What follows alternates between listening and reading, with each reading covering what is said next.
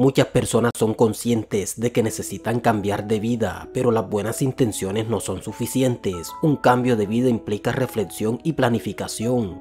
Realizar pequeños cambios cotidianos como el manejo de las finanzas o la organización de la agenda no es demasiado complicado, pero cuando se trata de cambiar de vida, el asunto se complica porque es más difícil delimitar qué aspectos se deben cambiar y cuáles se pueden mantener. Para lograr un cambio de vida trascendental es necesario plantearse determinados objetivos.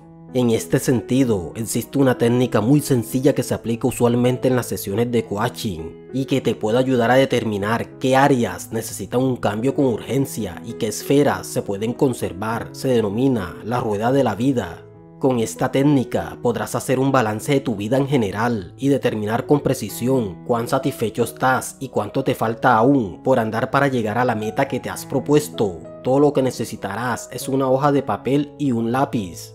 Paso número 1.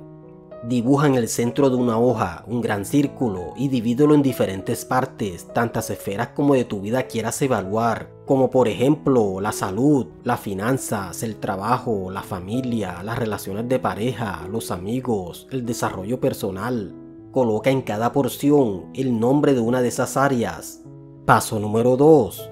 Evalúa en una escala del 1 al 10 cuán satisfecho te sientes con lo que has logrado en cada una de las esferas. Sin embargo, en vez de escribir un número, representa esa escala con puntos. Por ejemplo, el 10 estará en un punto exterior y el 1 en un punto interior, cercano al centro del círculo. Por tanto, mientras más al borde coloques el punto, más alta será tu satisfacción en esa esfera. Paso número 3. Cuando hayas evaluado todas las esferas, une cada uno de los puntos. Ten en cuenta que la figura que aparezca tiene que ser lo más semejante a una rueda. Cuanto más regular y grande sea la rueda, mejor estarás rodando por la vida. Al contrario, si el círculo interior es muy pequeño o tiene formas muy puntiagudas, es necesario que implementes cambios en algunas esferas.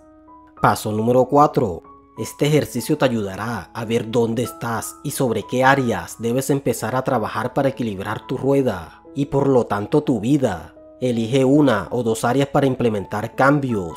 ¿Qué podrías hacer para mejorar en concreto esa área de tu vida? Establece objetivos concretos, realistas y mensurables. Obviamente, para que esta técnica sea realmente eficaz y pueda orientarte en tu camino hacia el cambio, es importante que seas completamente sincero y que no recurras al autoengaño. Considera que ese momento de sinceridad te ayudará a encontrarle un nuevo sentido a tu vida y a poner en práctica los cambios que realmente necesitas.